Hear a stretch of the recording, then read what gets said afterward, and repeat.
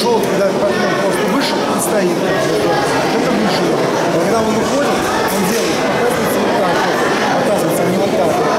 Понял, да? Пару ценных указаний юному арбитру и на татами снова бескомпромиссная борьба. В 56-й Ульяновской школе проходит традиционный турнир по дзюдо памяти известного борца Ирика Ахмедшина. Здесь дети у нас получают навык как борьбы, так и судейства. То есть привлекаем э, тех же самых спортсменов, то есть на 2-3 года постарше, чтобы они посудили, то есть посмотрели борьбу со стороны. Соревнования проходят в память об одном из первых воспитанников Ульяновской школы самбо Ирике Ахмедшине. Он погиб в автокатастрофе летом 2004 года, но остался жить в сердцах друзей, которые и проводят этот мемориал. В этом году уже в 15 раз. Он был, я еще раз подчеркну, очень человеком внимательным, много помогал людям.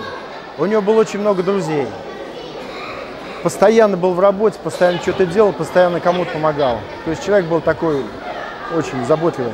110 борцов из нескольких клубов Ульяновска и районов области. Такой форум собрал мемориал Ахмедшина 2018. Большинство участников – юные спортсмены. Для некоторых из них это первые шаги в спорте. Организаторы при этом не исключают, что через несколько лет эти маленькие дзюдоисты, когда вырастут, взвалят на себя бремя лидеров областной, а может быть и российской команды. Любые соревнования, а эти в том числе, являются ступенькой э, для их спортивного роста. Все когда-то начинается, и каждый чемпион начинал с детских соревнований. Поэтому вот такой малюсенький, уютный домашний турнирчик как раз и есть та ступенька.